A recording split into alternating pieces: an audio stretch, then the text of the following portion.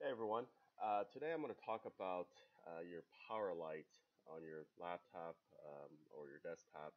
Staying lit even though after you shut down your computer.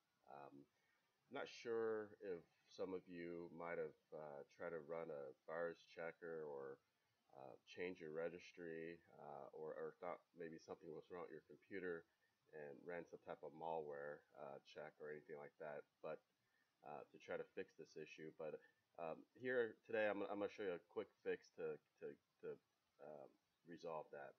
Uh, basically, uh, that power light stays on after you shut down your computer because um, uh, basically it's, it's, it's, it's called a, uh, the fast startup pretty much in Windows 10. It's usually on by default.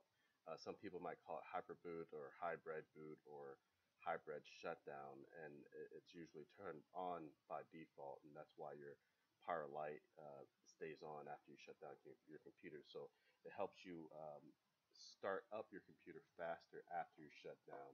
So let's get to it. I'm going to show you guys how to um, turn that fast uh, startup off. Uh, that way when you shut down your computer, it fully shuts down, the light turns off. So uh, first thing is you, you want to go to your uh, control panel and then your power option.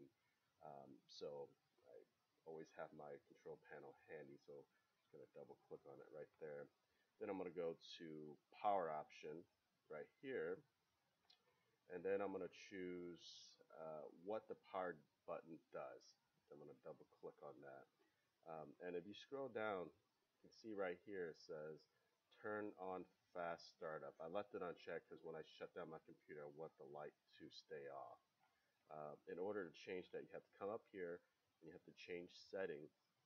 Um, double click on change setting, then come back and you'll have the ability to click on or off this uh, option. So um, we want to leave it unchecked if you want that power light to uh, stay off when you shut, shut down your computer. But if you want to uh, enable fast startup, leave it uh, and um, your, your computer will start up faster, but that power, that shutdown light won't, that power light won't, won't blink off. So um, again, if, if uh, you want that complete shutdown, that power light to go off, just leave it unchecked and save your changes. And basically that's it. Just reboot your computer and your uh, shutdown light should, or your power light should stay off. Um, so hopefully that helps um, you guys and uh, hopefully uh, um, uh, that fixes your problem. Um, so um, appreciate you guys watching and look forward to the next tutorial.